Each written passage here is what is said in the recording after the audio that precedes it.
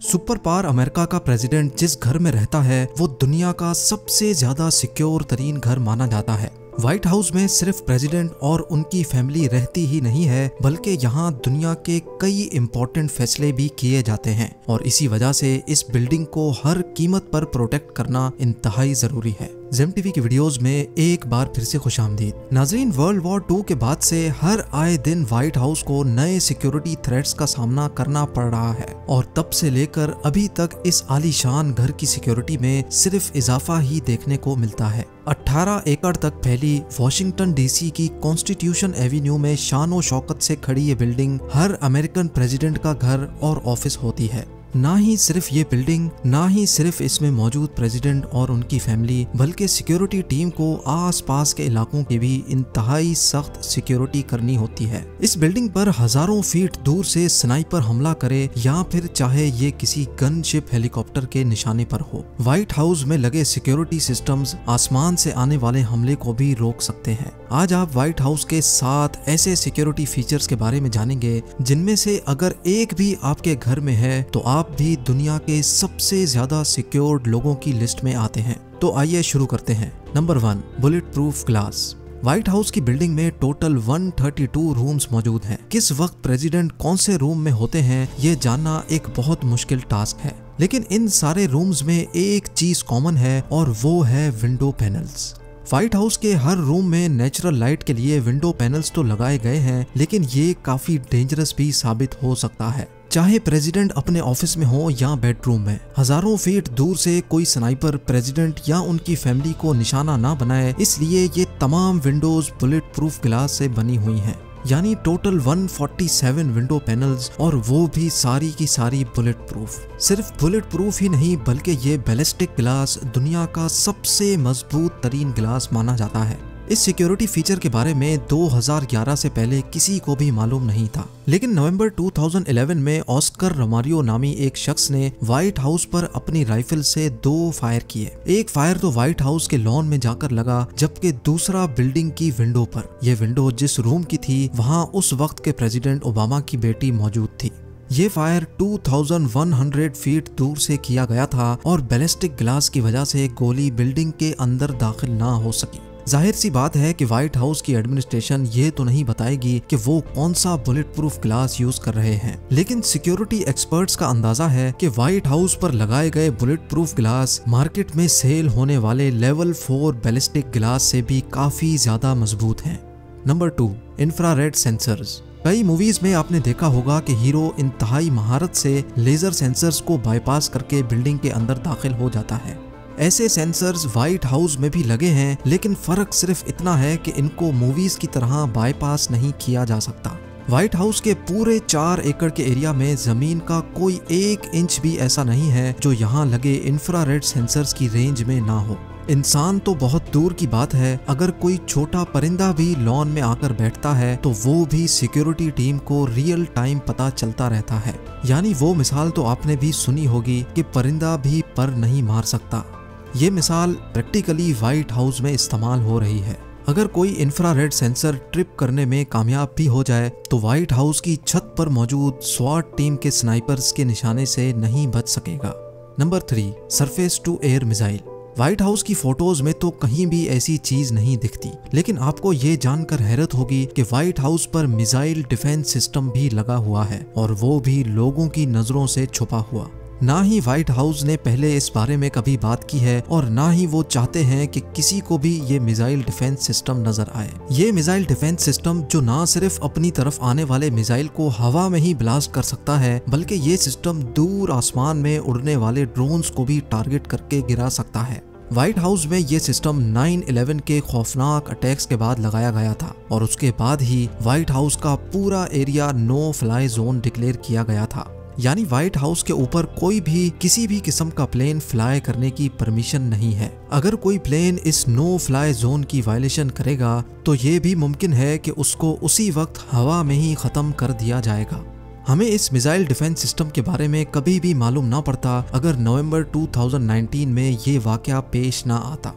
नवंबर 2019 में एक जहाज़ गलती से White House no fly zone के एरिया में घुस गया। ये जहाज़ था तो व्हाइट हाउस से काफ़ी दूर, लेकिन इसकी वजह से न सिर्फ़ पूरा व्हाइट हाउस लॉकडाउन कर दिया गया, बल्कि आस पास के इलाकों में भी फ़ौरन इमरजेंसी सिचुएशन पैदा हो गई। इसी दौरान एक न्यूज़ रिपोर्टर ने व्हाइट हाउस की छत पर एक एंटी एयरक्राफ्ट मिसाइल देखा और उसकी फ़ोटो ट्वीट कर दी। इस पिक्चर के बाद ही सबको मालूम पड़ा कि व्हाइट हाउस की छत पर एक ऐसा एंटी मिसाइल सिस्टम लगा हुआ है, जो बड़ी बड़ी जंगी गाड़ियों में देखा जाता है। एक्सपर्ट्स का ख्याल है कि ऐसे कई और anti missile system White House पे लगे होंगे, जिसका यहाँ काम करने वाले एम्प्लॉयज़ को भी इलम नहीं है।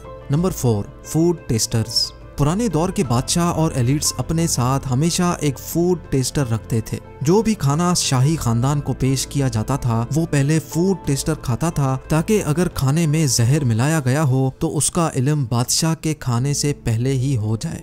इसी तरह यह माना जाता है कि यूएस प्रेसिडेंट के साथ भी हर वक्त उनका पर्सनल फ़ूड टेस्टर मौजूद होता है, जो प्रेसिडेंट के खाने से पहले सारा खाना खाकर चेक करता है। फ़ूड टेस्टर के बारे में भी तब मालूम पड़ा जब 2013 में प्रेसिडेंट ओबामा ने सेनेट रिपब्लिकन्स के साथ मीटिंग में खाना खाने से इनकार कर दिया था, क्योंकि उस वक्त उनका फ़ूड टेस्टर वहाँ मौजूद नहीं था। ऐसा भी माना जाता है कि अगर प्रेसिडेंट को अपने लिए पिज्जा या फास्ट फ़ूड ऑर्डर करना होता है तो ऑर्डर की डिलीवरी व्हाइट हाउस के बजाय किसी और एड्रेस पर करवाई जाती है। और उसके बावजूद भी पहले फ़ूड टेस्टर वो चेक करता है और फिर वो प्रेसिडेंट को पेश किया जाता है। Number five guard dogs White House और प्रेसिडेंट की हिफाजत के लिए ट्रेंड गार्ड डॉग्स भी मौजूद होते हैं। 1975 से व्हाइट हाउस की प्रोटेक्शन के लिए इन गार्ड डॉग्स को रखा गया है, जो बेल्जियन मेलिनवा ब्रीड के इंतहाई ट्रेन डॉग्स हैं। इन कुत्तों की ऐसी ट्रेनिंग की गई है कि वो बच्चों को कुछ नहीं करते, लेकिन अगर किसी ने फेंस फलांगने की कोशिश की तो वो इन कुत्तों से नहीं बच सकता। 50 किलोमीटर पर आर की स्पीड से भागने वाले ये कुत्ते पलक झपकते ही किसी भी अनजान को काबू कर लेते हैं ताकि सिक्योरिटी उसको अरेस्ट कर सके। 2014 में एक शख्स व्हाइट हाउस की फेंस फलांग कर अंदर दाखिल होने में कामयाब हो गया। उसके पास कोई वेपन नहीं था, इसी वजह से उसको शूट नहीं किया गया। लेकिन फिर गार्ड डॉग्स ने अपनी ड्यूटी पूरी की और एक ही झटके में उसको काबू कर लिया। नंबर सिक्स आयरन फेंस बेशक व्हाइट हाउस को बाउंड्री वॉल की बहुत ज़्यादा ज़रूरत है, लेकिन फिर भी आज तक यहाँ कभी भी कंक्रीट वॉल खड़ी नहीं की गई। क्योंकि जनरल पब्लिक का पूरा राइट है कि वो व्हाइट हाउस को देख सकें। जनरल पब्लिक को व्हाइट हाउस क्लियर दिखे, इसी वजह से पूरे 18 एकड़ पर फैली इस बिल्डिंग के गिर्द सिर्फ़ फेंस लगाई गई है, जिसके आर पार देखा जा सकता है। व्हाइट हाउस की फेंस फलांगने के कई इंसिडेंट्स पहले भी रिपोर्ट हो चुके हैं। इसी वजह से 2019 में फेंस की हाइट 6 फीट से बढ़ाकर 10 फीट तक कर दी गई थी। और साथ साथ फेंस में एक ऐसा सिस्टम भी लगाया गया है कि अगर किसी की फेंस फलांगने की सिर्फ़ नियत भी होगी तो उसी वक्त सिक्योरिटी को मालूम हो जाएगा। जी हाँ व्हाइट हाउस की फेंस में एक ऐसा सिक्योरिटी सिस्टम लगाया गया है, जिससे फेंस पर अगर नॉर्मल से ज़्यादा प्रेशर पड़ेगा तो उसी वक्त एक अलर्ट सिक्योरिटी रूम में चला जाएगा। यानी बाहर खड़े किसी शख्स ने अगर फेंस पर चढ़ने के लिए थोड़ा भी प्रेशर डाला तो उसके चढ़ने से पहले ही वहाँ सिक्योरिटी पहुँच जाएगी। नंबर सेवन ड्रोन सिक्योरिटी 2015 में व्हाइट हाउस के अंदर एक ऐसा सिक्योरिटी फ्लॉ सामने आया, जिसने सारी सिक्योरिटी टीम को हिलाकर रख दिया था। व्हाइट हाउस में काम करने वाला एक एम्प्लॉय जो अपनी शिफ्ट के बाद घर वापस जा रहा था, उसने व्हाइट हाउस के बाहर से अपना ड्रोन कैमरा फ्लाई किया और उसको फेंस के उस पार भेज दिया।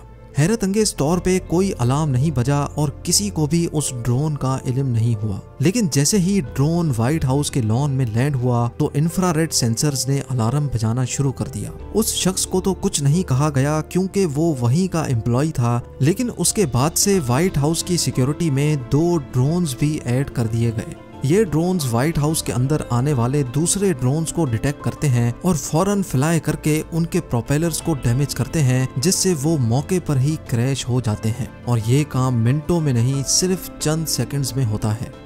नाजरीन व्हाइट हाउस अमेरिका का सबसे ज़्यादा सिक्योर्ड घर माना जाता है। यूएस प्रेसिडेंट और उनकी फैमिली को हर कीमत पर सिक्योर रखने के लिए ऐसे कई और सिस्टम्स भी लगाए गए होंगे, जिनका अभी तक किसी को भी मालूम नहीं है।